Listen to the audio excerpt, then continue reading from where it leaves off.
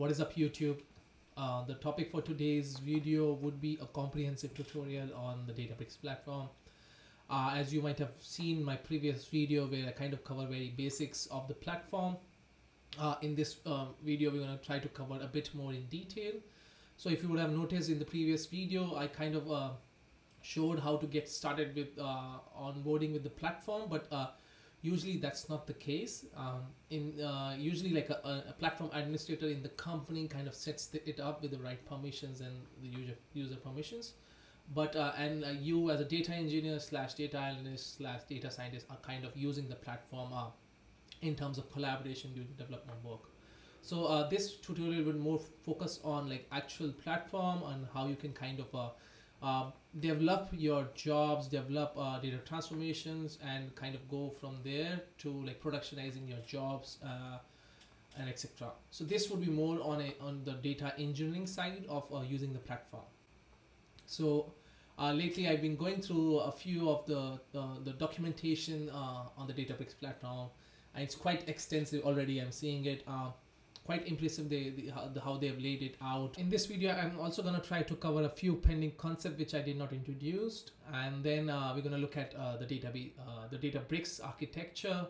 And uh, we'll do a i'll do a small demo of the platform and like how to navigate it through. And then we'll just go ahead with just uh, like building jobs and uh, try to deploy it and schedule it like a production workload so let's get started. Uh, let me quickly share my screen. So yeah, lately, as I mentioned, I'm kind of going through the documentation, as you can see here. Uh, the best thing is uh, it is kind of uh, done track-wise. So like for me as a data engineer, I'm to uh, go, I've been through the data engine track already.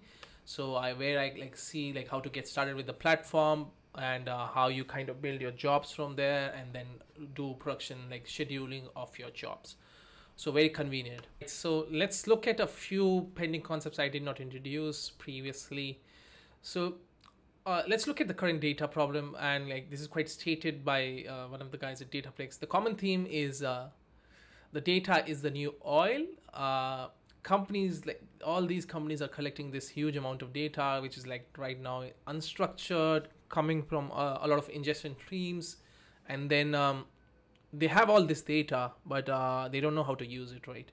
So this data then can uh, kind of help uh, to derive a lot of business insights and eventually help with the growth of the company. So that's the current narrative. Uh, for a long time, that's been a narrative uh, for the data. This seems to be like a very, a very good philosophy, uh, but there are actually a lot of issues here. So, so this data, like in a lot of the places, also based on my experience, is not properly being ingested. So they are not getting the right columns. Uh, the, the quality of the data is a problem when they're merging a lot of data from different countries, the, the kind of columns which overlap with different data. So eventually the quality is kind of a mess. And then there's one more problem is like uh, with these batch pipelines, sometimes uh, someone is leaking, uh, i.e. like not working. Uh, then the data is not like up to date and um, then there's a lot of like uh, a lot of uh, management overhead of uh, usage and permissions and etc to work around with data getting the access to the right data. If the data is lying at multiple places then it becomes a, a, a big uh, overhead in, in terms of getting the right permissions so uh, the data is there definitely it can be used very properly. But uh, uh, they still a lot of uh, problems which exist i would say so hence like that's where the the databricks kind of comes in and they say like oh we've got this unified platform which is kind of based uh, the, the, the backbone is based on a core layer of Apache Spark, uh, which every big data engineer must be using. And then they've got this Delta Lake, uh, which they recently are promoting as uh, is around like storing the data, uh, storing the data into blob storage, but uh, having a lot more features than just being a blob storage and then productionizing workflows um, and plus also like deploying models. So based on this uh, core concepts they say oh yeah we, we've got this uh, um, figured out in like one of our unified platform. They call it the unified analytics platform and and that's how it's kind of spread out. And this platform kind of works for everyone in this case. So starting from a data engineer where, uh, where it's like our job to uh, hook up the right uh, spots for getting the data, building the right pipelines, and pulling all the data together in one place so that other people can work around it. And then uh, there's another side of it uh, because this data is already there uh, in structured uh, databases or tables. Then uh, a, a, data analyst or a business analyst can easily hook in through and look at the data using simple SQL queries, right? And then there's one one part of it is like which is of data scientists. The data scientists definitely want to use this data to predict things in the future, right? So that's where they kind of fit everything all together uh, using this platform, which has uh, a comprehensive way of doing things, developing things using notebooks, using SQL, and all of this has a very good foundation of uh, Apache Spark and uh, then Delta Lake. And one more thing to it is it's kind of de- deployed, like it's it's a service, so it's it's use, using it and then it just gets deployed in one of your preferred cloud platform uh, right now it's two, but I think they uh, they are planning to include uh, uh, the Google Cloud as well. As in for the next part of video, let's actually look at exploring uh, a Databricks workspace, uh, which has already been set up in the previous tutorial. When you log in to your platform, you're gonna see something like this. So this is the home screen.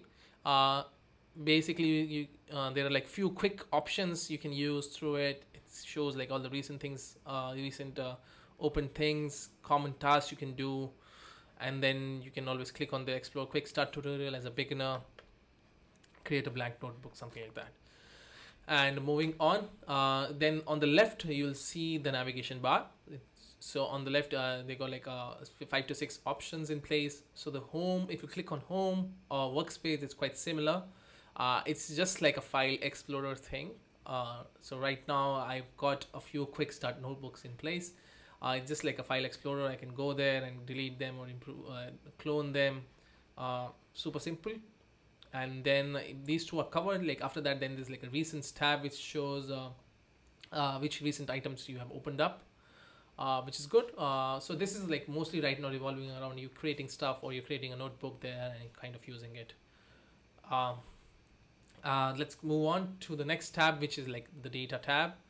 Oh th this is quite interesting. Basically uh, this is where you would be able to see all the data bases and the tables being created.